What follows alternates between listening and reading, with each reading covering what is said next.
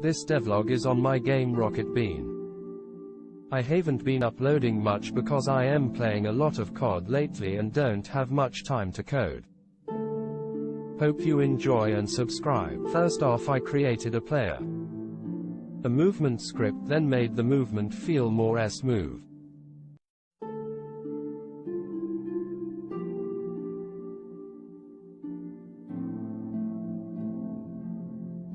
Player movement.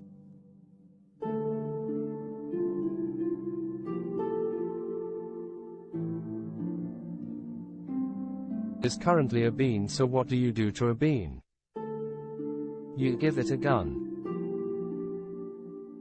But the gun is useless if it don't shoot so let me spend two hours coding a bullet using rigid body and box collider systems.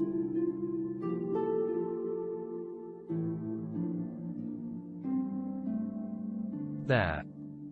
Now the bean can shoot all it likes with unlimited ammo. But the bullet isn't moving so let me just fix it.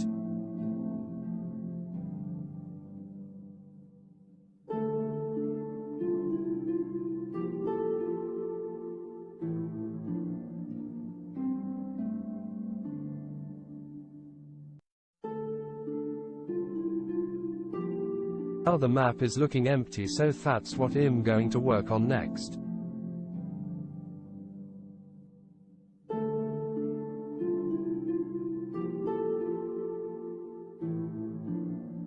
This is what I want the map to look like.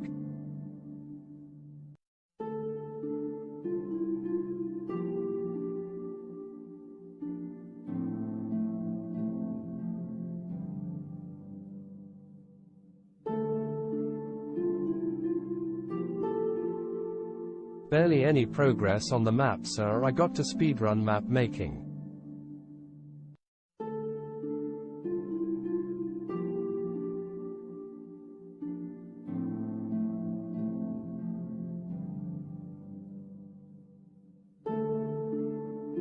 Yes this is the map that took me hours of copying and pasting cubes from Blender to Unity.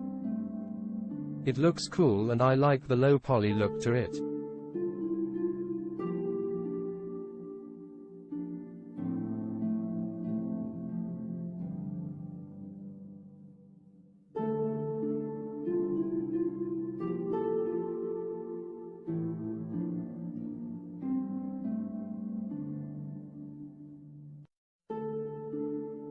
That's all for today's devlog subscribe because I will be uploading more hope you enjoyed.